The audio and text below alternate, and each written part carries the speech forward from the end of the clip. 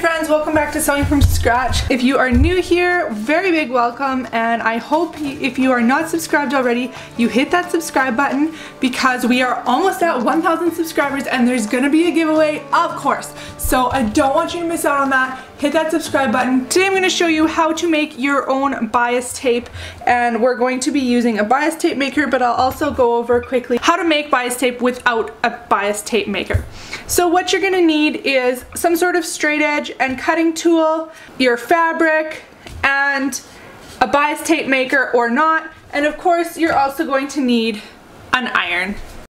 If you don't have a rotary cutter and or straight edge and cutting mat, what you're going to want to use is some sort of ruler or straight edge, this can be really be anything. You'll use that in conjunction with a flat measuring tape or an actual construction measuring tape, something that you can measure and draw straight lines with. And then you'll also need a, some sort of fabric marking pen or chalk or something of the like so that you can draw the lines on your fabric. The first thing we need to do is to cut our fabric into the right strips. So quickly, very quickly, the bias of the fabric is going diagonally at a 45 degree angle across your fabric. So it is not the straight grain, it is not the cross grain, it is the bias. So what we want to do is we want to make strips that go across like that for bias tape. The reason we do it that way is because the bias has a little bit of give to it and stretch as you can see so it curves around nicely and kind of does what you want it to and makes a nice finish. And the advantage of making your own bias tape is that you can make it to match whatever garment you are making instead of using store-bought tapes that probably won't match exactly what you're wanting to use it for.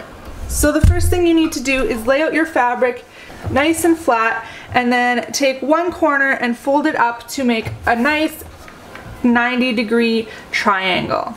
Once you have your triangle done, you can go ahead and cut off the excess here. So now I have my folded edge along here. We're going to go ahead and cut that. So now we have two triangles. And remember now, the cross grain is actually this one that we have going up and down. You can see these were our straight lines.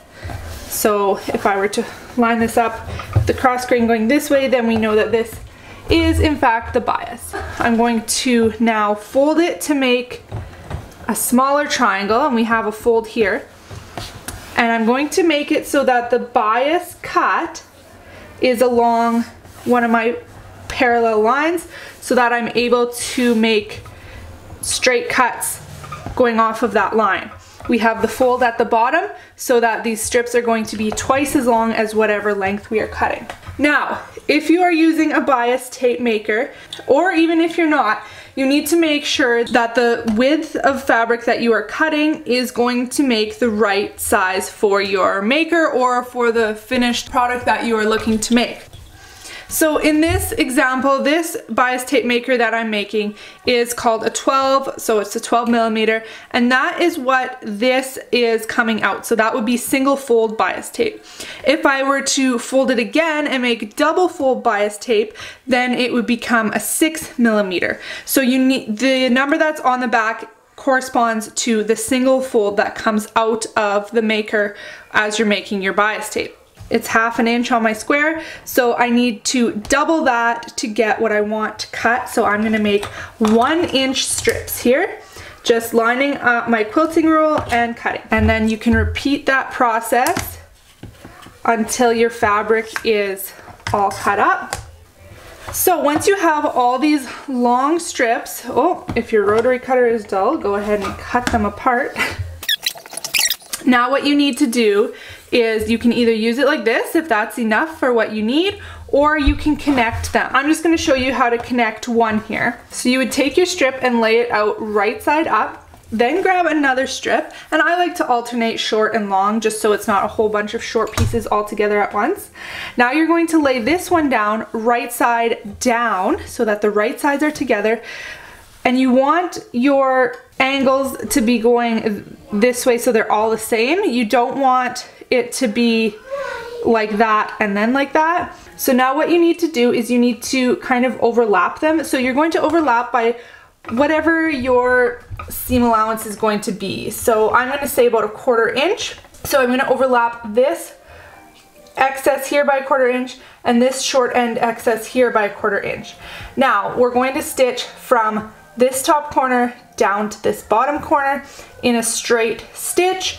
If you're having trouble visualizing this, what I like to do is hold it here or stick a pin or something and then fold it and then you need to see here, that's what we want in the end, is this nice clean seam here and we want our edges to all line up. So in order to do that, I need to make a diagonal stitch right here. So I'm gonna go do that. So once you have your stitch there, fold it over, make sure it lines up pretty nicely there. You can see it does, so I'm just going to trim this bit here. And you can trim this off too if you want. And then I'm going to lay this out wrong side up and I'm going to press that open. And you can trim these down too if you like, just so it's not so much bulk going through your maker or for your bias tape. Just don't trim too much because you still need that seam allowance. And now if you were to need another piece, what you would do, again, flip this right side up and you take your other piece and you're going to do it the same way Last time we had it this way, right? Well, now you can see my angle is the other way. So I'm going to show you how to do it this way. So it's the same idea, but now your, your, um, your tail is up and your angle is at the right side this way, going from left to right. And so now you will stitch this way. You're always going to stitch parallel to your bias tape cut here. And then when you stitch, it would be like that. And then you would repeat the process for as much as you needed. So once you have a nice long strip, now what you need to do is to actually make the bias tape. So single fold bias tape means that you're folding the two sides in, long sides in to meet in the middle like that. Double fold bias tape means you take that and then you fold it in half again so that all the raw edges are hidden inside and it's a nice clean edge. Great for making straps or if you're using it as a binding, stuff like that. So let's go to the ironing table and I'll show you how to do it. And I'm first gonna show you how to do this without a maker. So what you would just do is just fold the two long edges and to meet in the middle and you can do this one at a time. You can draw a line right down the middle if you want or just kind of eyeball it. But you would fold it in using heat from your iron, fairly high heat, as high as the fabric will take. And then you just continue that process all down the length of your fabric. There's your single fold bias tape and again to make double fold all we do is fold this in half and then press it again.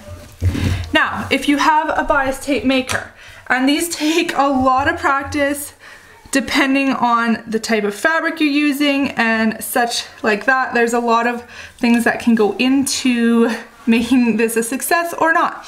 So a few tips I have is to always make sure that you're feeding through a diagonal cut like this. It's just gonna be easier in terms of getting it actually through this tiny little slot and to come out the other side. So we just feed this in and the, the thinner the fabric that you use, the less structured it's gonna be, right? So it's hard to push through. So just grab a seam ripper or a pin or something. There's a slot here to help push it through. You can see mine was already sticking through. So it, this fabric wasn't an issue. If you use something thick and bulky, it might be really hard to get that through. So now you can see it's coming out nice and folded there the way we want. And all you have to do now is take your iron and press. And as you press, you're pulling the maker. You can use a little handle or this, just right from the base. And keep pressing, keep pressing, keeping the maker nice and straight along here so that the fabric is feeding in evenly as it's supposed to. If you had a clapper or something, it might help to hold things down, but generally the iron is enough to make the creases that you need. So you just continue to do this all the way down your fabric. When you get to a seam, it might get a little harder to push through the maker or it might get hard to fold in, you might need to do some extra attention on those areas. Now that you're finished this, if you wanted to make double fold, you would just go ahead, fold this in half, right down the center, hiding everything inside. And then go ahead and give it a nice, good, firm press again. And there you have it. Bias tape is pretty easy and it adds just a nice level of finish to your garments. So thank you so much for watching. I really, really, really appreciate it. As you know, I'm trying to hit that 1,000 subscriber mark very soon and it's looking like we're gonna get there pretty quick here. So make sure you hit that subscribe button if you're not already so you don't miss out on the giveaway coming up. Thanks so much and I'll catch you in the next video. Bye!